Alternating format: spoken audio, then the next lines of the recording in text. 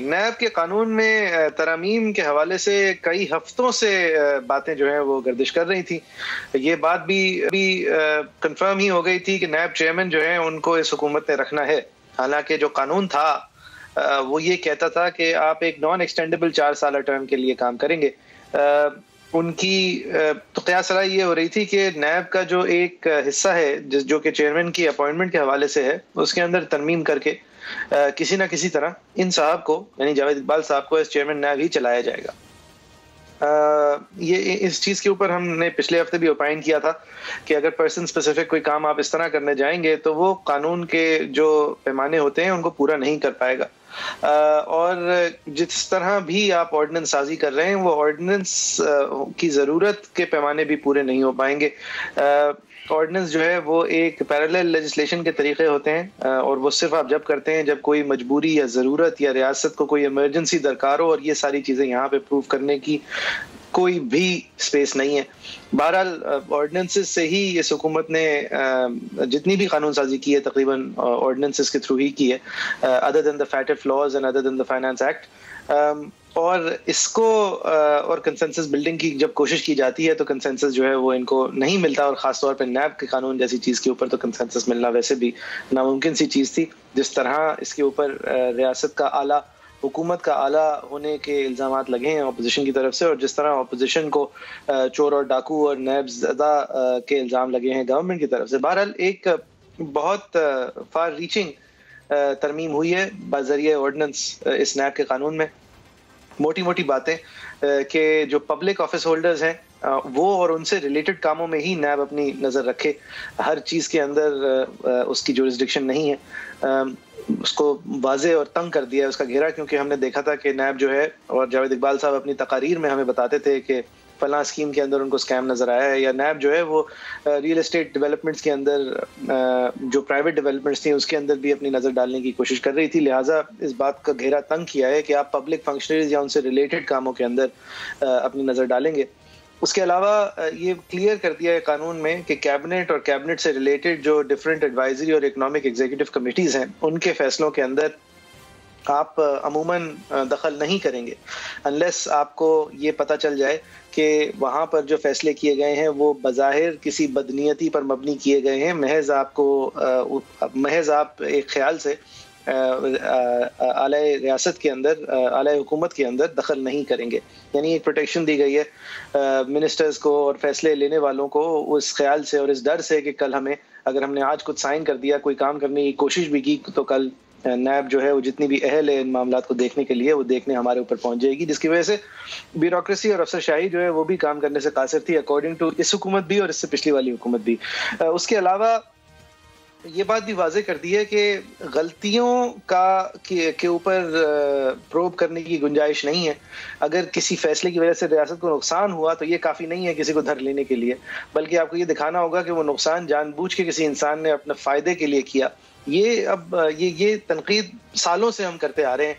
जब से नैब ने अपना दायरा वसी किया है और लोगों को महज फैसले करने पे या उनके फैसलों के बाद मीशत को नुकसान अगर पहुँच गया एंसिलरी तौर पे तो उनको उस वजह से पकड़ लिया कि आपने रियासत को नुकसान पहुँचाया है। इसमें कोई जुर्म नहीं है। इसमें कोई एक्टस रेस नहीं है। इसमें कोई मेन्जरिया नहीं है।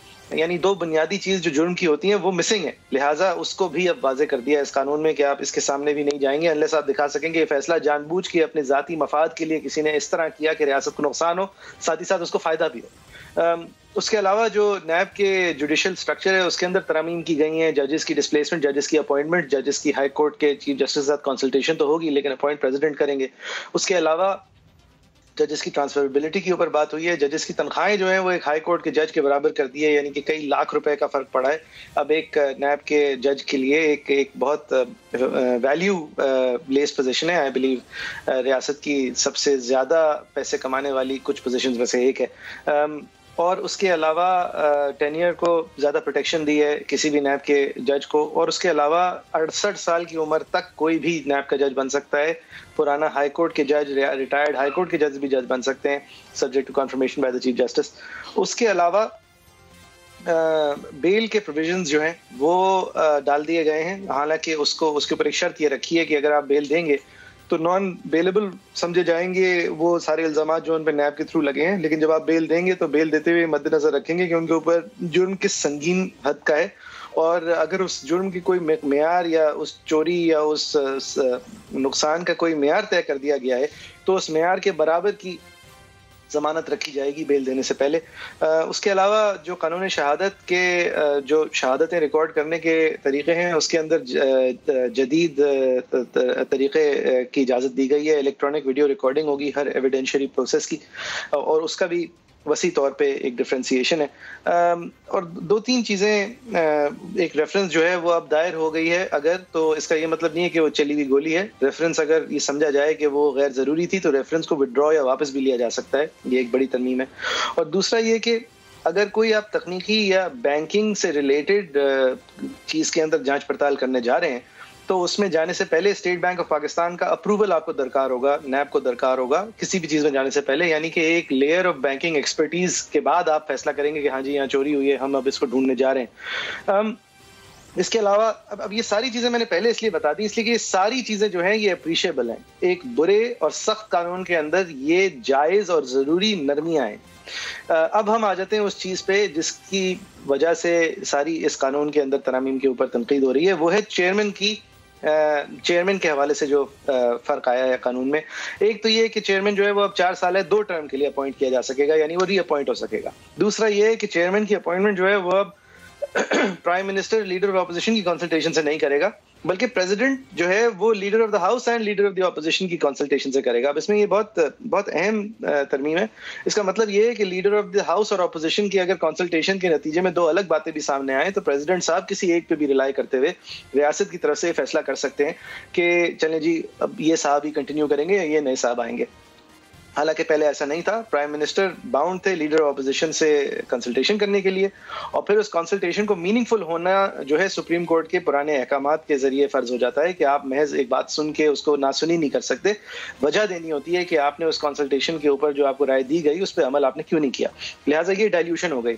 अगर ऐसा हो कि कंसेंसस बिल्ड ना हो पाए प्रेजिडेंट और लीडर ऑफ़ द हाउस और लीडर ऑफ़ द अपोजिशन के दरमियान तो फिर ये एक पार्लिमानी कमेटी को रेफर होगा जिसमें छह मेंबरान अपोजिशन के होंगे और छह मेंबरान हुकूमत के होंगे। और उस पार्लिमानी कमेटी में भी अगर डेडलॉक हो तो उसको एक, उसके जो सरबराह हैं, वो एक कास्टिंग वोट डिलीवर करेंगे।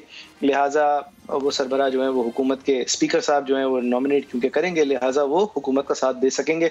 लिहाजा एक फेट कंपली सी हो गई कि हुकूमत लगाएगी नैब के चेयरमैन वही साहब, ये जरा लंबी इंट्रोडक्शन थी, अगर मैंने कुछ मिस कर दिया है तो आपने भी ऑब्वियसली ये ये ऑर्डिनेंस देखी होगी, अगर आप इसके अंदर कुछ ऐड करना चाहें, और फिर इसके बारे में आपका राय क्या है, ये ये कानून मेरे ख्याल से निन्यानवे फ़ीसद तो बहुत ज़रूरी चेंजेस है इसमें। कुछ चीज़ें नाकाफी हैं, लेकिन फिर भी चेंजेस ज़रूरी थे। रह गई बात ये नैब चेयरमैन की, और ये बात की ये ऑर्डिनेंस से क्यों आया? देखिए, मेरे ख्याल से तो बड़ी करप्शन जो है, उसको तो अब बरी जमा कर दिया है नैब के हवाले से। हम मेरे ख्याल से जब जहाँ आपने टैक्स के मामला को अलहदा किया, वो तो एक बात थी। फिर आपने जहाँ काबीना को, लिहाजा वज़ीर आज़म, वज़ीर आला सब committees E C C statutory corporation देखिए, ज़्यादातर बड़ी करप्शन जब भी होती है जाफरी साहब तो कहीं ना कहीं फाइनल अप्रूवल ज़रूर कैबिनेट का होता है, या किसी सब कमेटी ई सी सी का होता है, या फिर कम से कम एक स्टैचुटरी बॉडी का होता है। तो यहाँ पे जहाँ आपने इन लोगों के फैसलों को बरीत जमा कर दिया, नैब के जुमरे से कम से कम तो वहाँ पे मेरे लिए ये बहुत वाजे है कि अब जो बड़ी करप्शन है वो तो अब नैब का जुमरा रही ही नहीं। बिल्कुल खत्म कर दिया गया। दूसरा ये कि प्राइवेट पार्टीज़ और जो पब्लिक के हवाले से पॉन्जी स्कीम्स थी, उनको अभी खत्म कर दिया गया है कि वो भी अब नैब का जुमरा नहीं रहेंगी। तो रह गई सिर्फ़ वो वाली करप्शन बेसिकली जो कि कोई ब्यूरोक्रेट या कोई आम पब्लिक सर्वेंट जो है, जो कि काबीना के फैसलों और सब कमेटी के फैसलों और ईसीसी e और स्टैचुटरी बॉडीज के फैसलों के नीचे की सतह के फैसले करता है, सिर्फ़ वो रह गया और कुछ भी नहीं रह गया अब इसमें नहर में। तो मेरे ख्याल से पहली बात तो यह कि नैब जो है, क्योंकि अपना मकसद अब पूरा कर चुकी है कि मरियम नवाज़ और नवाज़ शरीफ कन्विक्ट हो चुके हैं। बाकी किसी को कन्वर्ट करने की ज़रूरत नहीं पॉलिटिकल इंजीनियरिंग के के ज़रिए से तीन साल से जो भी अचीव कर सकते थे नैब ने वो कोशिश की अचीव करने को, वो भी अब एक हो चुका है। तो अब जब काया पलटने की बात आती है तो फिर यह ज़रूरी था कि सबको बरी जमा कर दिया जाए।